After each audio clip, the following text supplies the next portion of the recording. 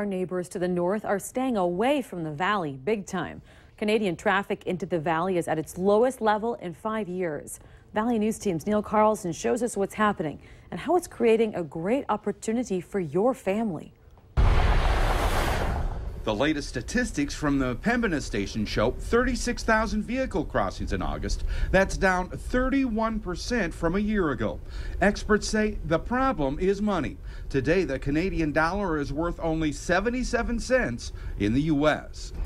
Yes, um, the exchange rate obviously is, is impacting that considerably at, at, at this point, we think. Uh, we have more inventory of hotel rooms right now, so we know our occupancy rate is down. It's, it's just kind of a struggle to say exactly how much. It all adds up to what's a great deal if you're considering a quick trip to Winnipeg.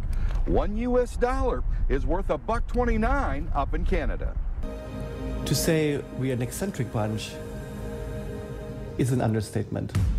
We work hard, we play hard. Winnipeg knows they have a good thing going. That's why we're seeing more advertising urging Fargo and Grand Forks residents to visit Winnipeg. With my professional hat on, uh, hat on, it's absolutely something fabulous for us because the Americans can come up and, for, you know, their dollar can go way further right now. And really, the campaign is around uh, coming to shop, come to stay here. If you stay two nights, you get the third night free.